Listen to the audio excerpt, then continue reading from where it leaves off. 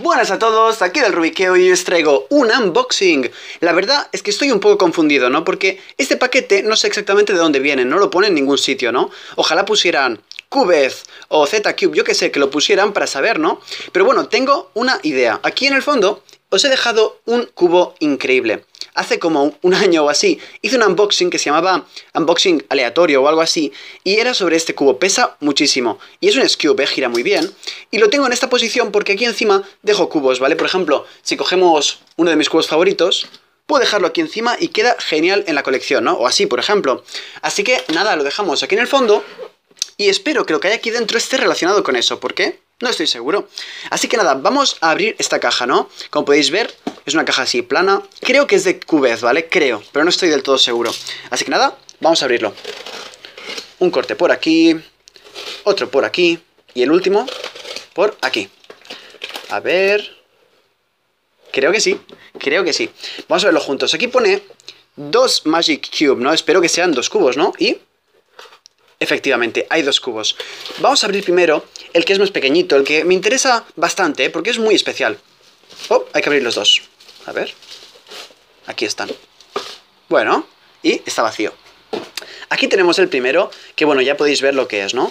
Es un cubo súper raro, y me lo he querido comprar por eso, ¿no? Porque es súper raro. Aquí tenemos Yongjun Inequilateral, ¿vale? Este nombre es muy difícil de pronunciar. He visto algún vídeo en inglés, y bueno, se hacen un lío y es muy gracioso ver cómo intenta pronunciar esto, ¿no? Inequilateral. ¿Vale? Supongo que significa que no es igual, ¿no? No es equilátero. Y aquí tenemos cinco versiones. Aquí tenemos en negro, en blanco, en azul, en rosa y, bueno, en verde quizá, y otro tipo de azul. Y bueno, como es un cubo raro, he dicho, bueno, si es raro, me lo compro más raro aún, ¿no? Y me compro en versión rosa. Moyu Cube.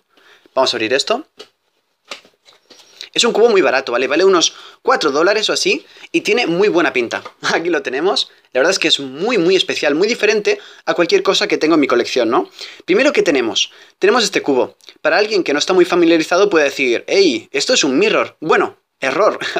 si miramos la capa de arriba, es igual que un 3x3, ¿no? A ver si tengo un 3x3. Aquí tengo un 3x3.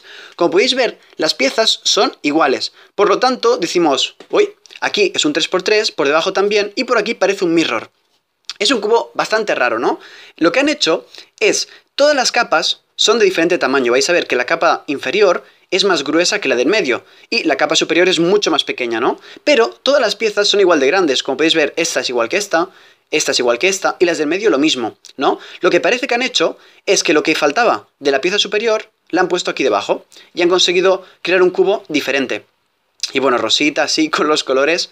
El patrón de pegatinas, ¿cómo es? Tenemos una punta roja, luego naranja, amarillo, y creo que lo mismo, exacto, por el otro lado está lo mismo, ¿veis? Por este polo y por esto está igual. Y por en medio tenemos la franja verde, azul y lila. Muy bonito, y bueno, y como os he dicho, ¿no? Fondo rosa. La verdad es que es muy raro. Vamos a ver cómo gira. Bueno, la verdad es que un cubo de YJ, ¿no? No sé si es Moyu. Sí, aquí pone Moyu Cube, aquí abajo, a ver si se enfoca. Moju Cube, ¿no? Un cubo de esta empresa, estoy seguro que va a girar bien, ¿no? Aquí tenemos estas capas, no se deforman, como podéis ver, pero si giramos las laterales, sí que se deforman. Y va a ser bastante complicado. Primero, porque se deforman, ¿no? Y también confunde mucho. Podemos resolverlo en la forma cúbica, pero las piezas estarán mal orientadas. Los centros, por ejemplo, puede estar el naranja mirando hacia aquí, o por ejemplo, si giramos, podría estar aquí, no lo podemos saber, ¿no? Así que bueno, es un cubo interesante, vamos a deshacerlo. Bueno, gira muy muy bien, ¿eh?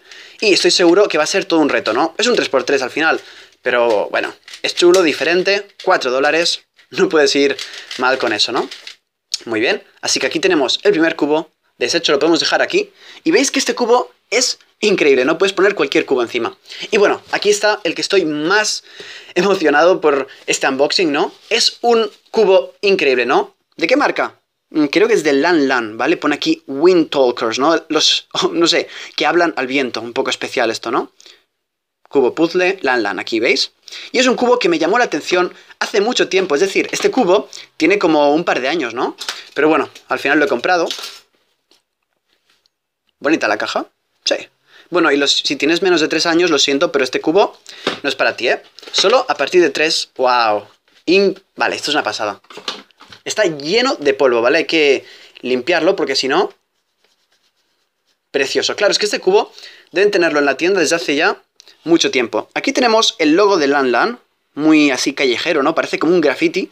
Y aquí arriba está el diseñador de este precioso cubo. Si veis, este puzzle, aquí tenemos, ¿no? Lan Lan, y en este lado tenemos J. Lin, que bueno, es de John, ¿vale? El diseñador de este cubo se llama John Lin. Y es un genio, ¿vale? Hace modificaciones súper especiales. Y aquí tenemos esta modificación del S-Cube. Es muy, muy grande, comparada con un 3x3. me molesta un poco lo de las... Hay un pelo aquí, ¿lo veis? Sí, ¿no? Hay un pelo, está súper sucio. Pero bueno, vamos a ver cómo gira, ¿no? Hay... Bueno, es un S-Cube al final, pero parece que tiene dos tipos de giros, ¿no? Parece que giran las caras. ¡Wow! Gira muy bien. ¿vale? Y parece que giran como las esquinas, ¿no? ¿Veis? Esta esquina como gira. Pero bueno, al final es un S-Cube que lo han hecho una modificación, es decir, esta esquina pues gira en torno como un S-Cube. Y esto de aquí también es una esquina y por lo tanto gira en torno a la esquina. Pero claro, alguien que no sepa mucho puede decir, uy, esto has girado una esquina, ¿no? Y esto has girado una cara. Se deforma, obviamente que se deforma.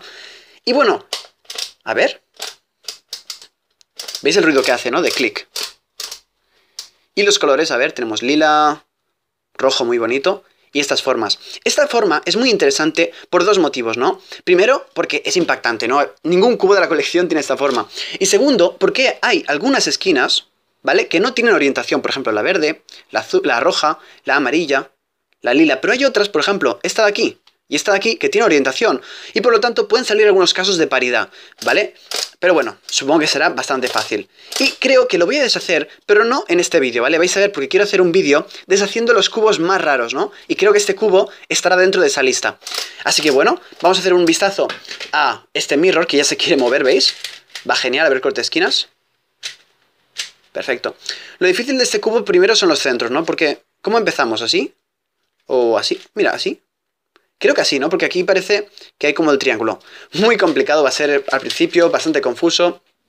Pero bueno, aquí están los dos cubos, ¿no? Y bueno, es un unboxing bastante corto. Tengo más cubos en camino de Cubez, ¿vale? Es una tienda que está bastante bien, pero el problema es que no te contestan los mensajes, ¿vale? Así que si queréis una tienda que os conteste los mensajes, Cubez no es la vuestra. Pero bueno, tiene buenos precios, envían rápido y estoy bastante contento. Así que nada, espero que os haya gustado este pequeño unboxing de estos dos cubos, uno muy antiguo y lleno de polvo y pelos, y uno bastante nuevo, ¿no? Rosita, de colores raros, no sé, me encanta. Así que nada, espero que os haya gustado este vídeo, y aquí estaremos, como siempre, ¿Qué le pasa a esto? Del rubiqueo.